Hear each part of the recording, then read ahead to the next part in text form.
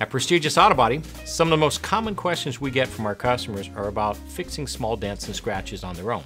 Number one concern is whether or not they think that they can fix them and give themselves a professional quality result. We'd like to share a couple of tips on how we do that, but you also have to understand that uh, by doing them, it, it's, it's hard to guarantee it's going to look perfect.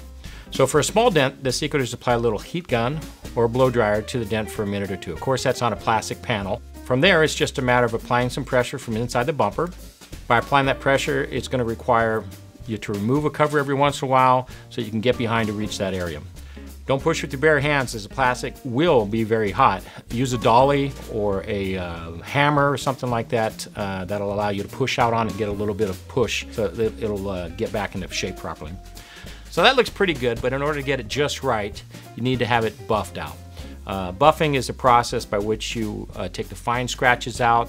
Sometimes you'll have a little paint transfer from whatever hit the panel and you can actually bring that by our shop and we can polish it up for you since you've got it to a point now after pushing out that looks much better.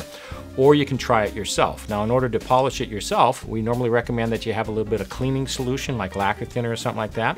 Uh, that'll allow you to re uh, remove just the surface uh, imperfections or surface paint that's on it, or to uh, a little bit of wax. And just take a little bit of wax, polishing compound. You can buy those at most uh, automotive stores. Take a clean towel and apply it slowly um, to the panel by just uh, in, in, a circular motion. and as you apply it, you try not to hit the area that was actually polished uh, too much, so you don't want to take it all off. Uh, but by polishing it, you'll actually will flatten it down and make it look much better than it does by not polishing it. One of the first things to know about the process of fixing scratches is that it's going to take at least a half hour to do a good job, sometimes longer. It's a common misconception that you can just pop on some paint in a few minutes and be done with it. And for the most part, that is true. You can just pop on some paint and be done with it. But if you take your time, you can be much happier with the results. Sometimes the deeper the scratch, the longer it's going to take to actually do the touch-up because you'll have to apply multiple coats of paint and multiple coats of clear coat as well. Another thing you should know are the differences between a scratch that's above the clear coat and one that's below it. A scratch that is not completely through the clear coat is much easier to deal with and you can expect much better results. For one that's below, you can make it look better, but it's definitely not going to look 100%.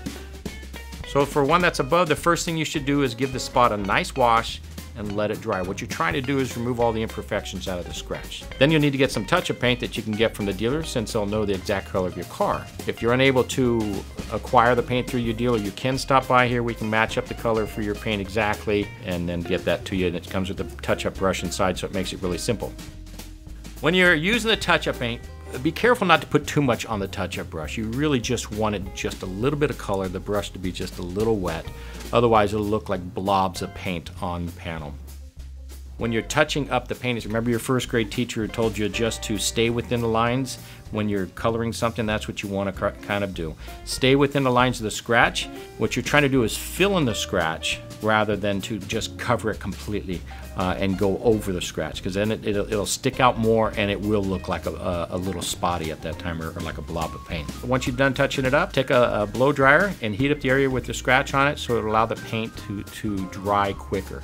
You don't need to do that. If you, if you want to be really patient, you can touch it up, let it dry for one day, come back and touch it up the next day. But if you want to get it done quicker, you can use a blow dryer.